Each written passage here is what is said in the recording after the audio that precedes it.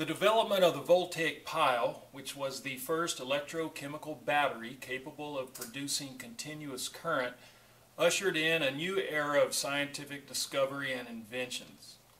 In 1820, Danish physicist chemist Hans Christian Ørsted noticed that whenever current from his voltaic pile was switched on and off, a compass needle placed near the wire deflected from true magnetic north.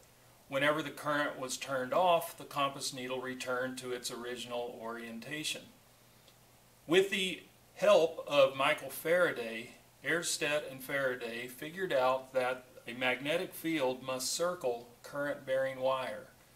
This led to evidence or support that magnetic fields are created by charge in motion. It's pretty easy to replicate Oersted's original discovery.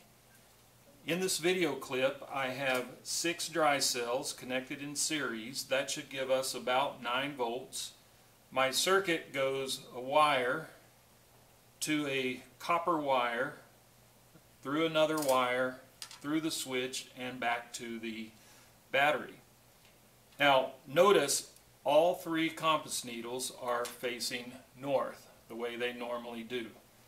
If I take this wire and place above the compass needles and in line with them, and I'm going to use some tape to hold it down.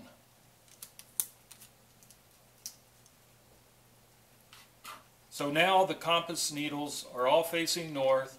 The wire above them runs north-south. When I close the switch, I'm going to create current that goes through this copper wire and through our complete circuit. Notice what happens to the needle when the switch is closed. All three compass needles deflected toward the east. So the magnetic field went from pointing to the north to pointing to the east. When I open the switch and turn the current off, the magnetic field goes back to its original orientation. So the compass needles face north again due to the Earth's magnetic field. Now, if we place the compasses above the wire instead of below, and we close the switch and run current through the wire, notice what happens. This time the compass needles deflected to the west. So the magnetic field above the wire faces one direction and the magnetic field below the wire faces the other. So above the wire it was to the west and below the wire was to the east. This is how Michael Faraday and Hans Christian Ørsted determined that the magnetic field circles the wire because if it circles the wire it points one direction below and one direction above. This discovery paved the way for the invention of electromagnets, the telegraph, and the DC motor.